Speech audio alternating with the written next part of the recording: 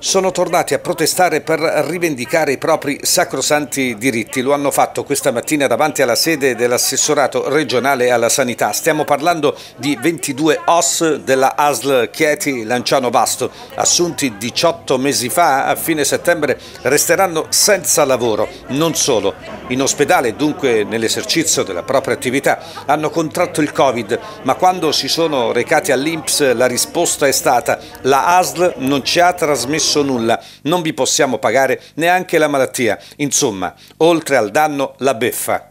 Naturalmente una forte, fortissima protesta, voi chiedete intanto la stabilizzazione. Certo, a grande voce la stabilizzazione perché non è possibile che siamo venuti per emergenza Covid circa 18 mesi fa e adesso ci ritroviamo estromessi soltanto noi Cococò dalla stabilizzazione. Questo è inaccettabile perché abbiamo, facciamo un lavoro come dipendenti ma abbiamo un contratto Cococò, siamo nei turni, qua siamo tutti di fuori paese, fuori del, della nostra regione. Lei di dov'è? Io sono di Caserta, Teano precisamente. Abbiamo lasciato il nostro paese, abbiamo dovuto prendere un appartamento, le spese, punteggi zero, se vogliamo fare un concorso non ci serve a niente. Quindi questo cococò del cacchio, ma che ci serve? Pettinari la situazione è davvero insostenibile. Ma sì, perché come questi, anche tanti altri nostri OS, li abbiamo chiamati eroi, li abbiamo fatti, li hanno fatti lavorare in prima linea, hanno contratto il Covid, tanti di loro rientravano a casa e non potevano nemmeno riabbracciare i loro cari e oggi ci ritroviamo in mezzo alla strada, buttati in mezzo alla strada senza nessuna certezza. Allora io oggi sono venuto qui a supporto, mi auguro che la Regione Abruzzo mostrerà sensibilità a questo tema, perché non si possono buttare per strada queste povere persone. Anche perché sono sostanzialmente dei lavoratori precari che vengono da fuori